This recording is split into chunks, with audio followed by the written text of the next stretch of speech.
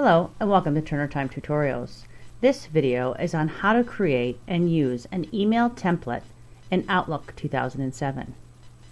If you find there are email messages that you send out frequently that contain similar text, you can create a reusable template in Outlook.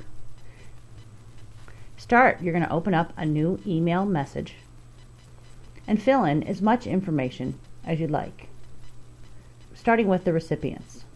You can add names to the to, CC, and BCC field, as well as the subject line. And take the time to fill in the body of the email with as much information as you need to.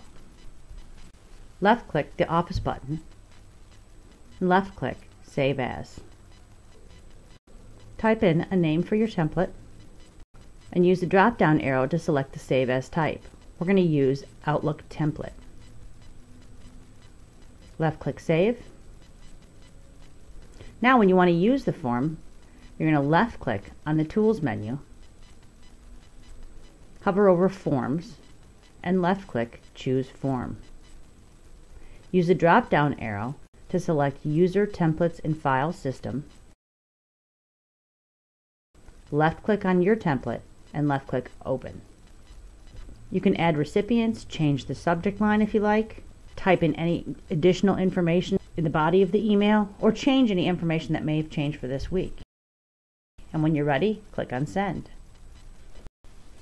So it's quite easy to create a template for reuse in Outlook 2007. If you have any questions, please email info at getturnertime.com. Thanks for watching and have a productive day.